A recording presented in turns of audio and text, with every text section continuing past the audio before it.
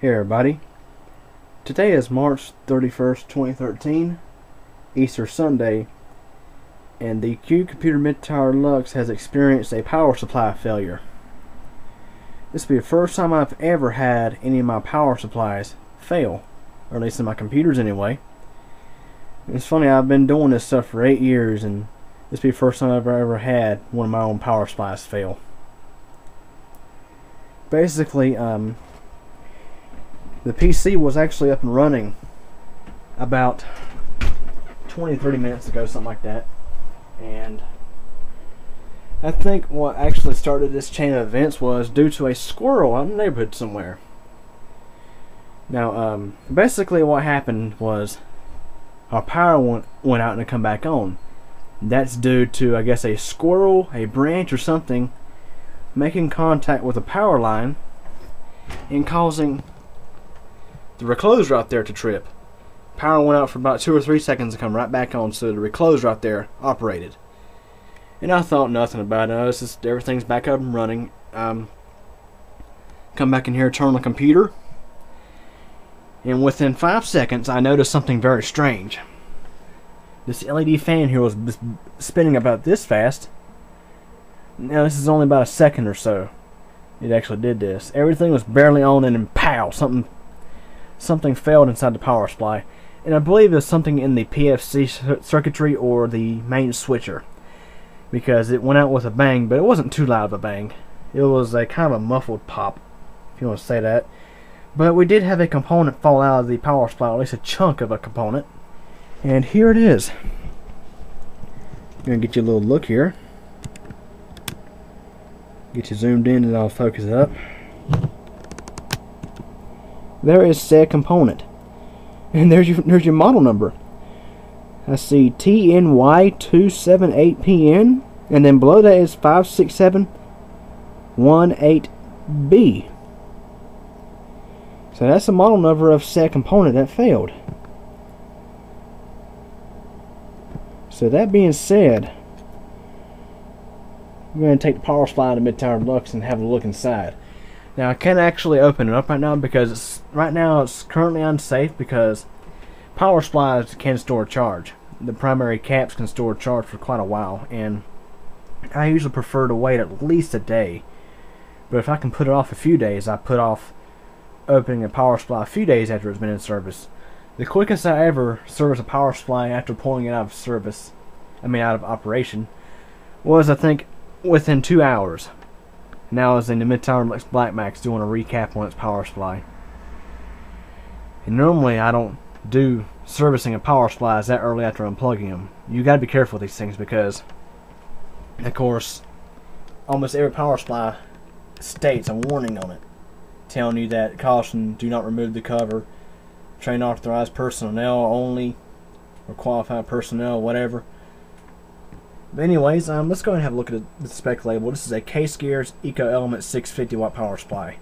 And most of the stuff that's made by K-Gears or Sunbeam Tech is usually crap when it comes to power supplies. This one here was actually built pretty well. I mean, when you compare it to the rest of their power supplies. Most of the cheap power supplies they have do not have any EMI filtration, no um, very good quality components or anything like that. This one here actually had decent quality components but I'm sure it wasn't actually a true 650 watt power supply. It does have 18 gauge wiring on everything. Everything's 18 gauge, no 20 gauge crap on the wires. It's all 18 gauge, if not thicker. So at least it was built pretty well. And the power supply was in service for 24 hour operation, 24 7, 365, unless of a power outage. For, let's see, from November 2010 through March well, almost April 2013. So that's not too bad. Well, the, the crazy thing was the power supply sign um, showed no signs of failure, in that failure. The computer was stable just as always, no crashing, no nothing. It was even, I mean, I was, it was working today. I was even putting videos together today on the computer. I had some, I got some videos I got put together, and I was going to try to get those uploaded today, but looks like it's not going to happen. But anyways, now let's go and get that power spot like I mentioned earlier. I tend to talk a lot in my videos. Okay, got the power supply pulled out of the computer, so let's go see what failed. Okay, now I'm outside on the back porch. And there's plenty of, there's plenty of light out here. And let's have a look here.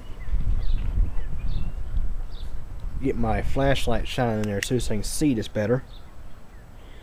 But the bad component is right there in between the 5 volt standby transformer and the primary side heatsink. Now later this week I'll shoot a video of inside the power supply when I take the cover off. Excuse the background noise, there's a piece of plastic flapping.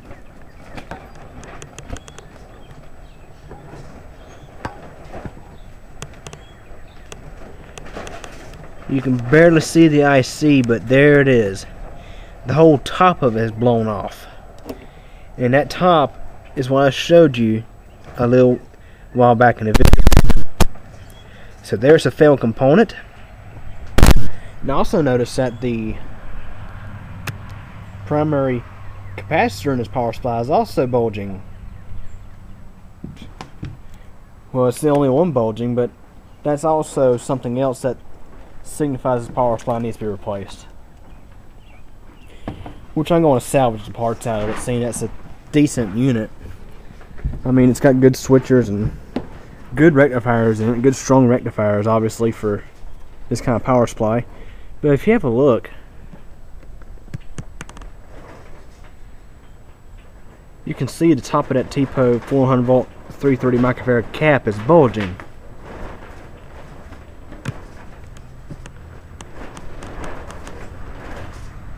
It's bulging quite a bit, and that's that's the first time I've ever seen a high voltage cap bulge like that.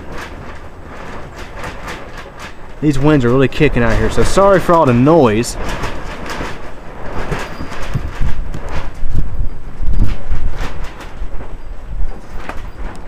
Anyways, later this week I'll be getting a new power supply for this computer. So, you won't be seeing these videos till probably later this week, if not next week, because um, many of the video files I took last week are on the computer. And I'll be using my laptop until I get my get the mid-tower lux fixed. So anyways, any questions or comments, feel free to ask and thanks for watching.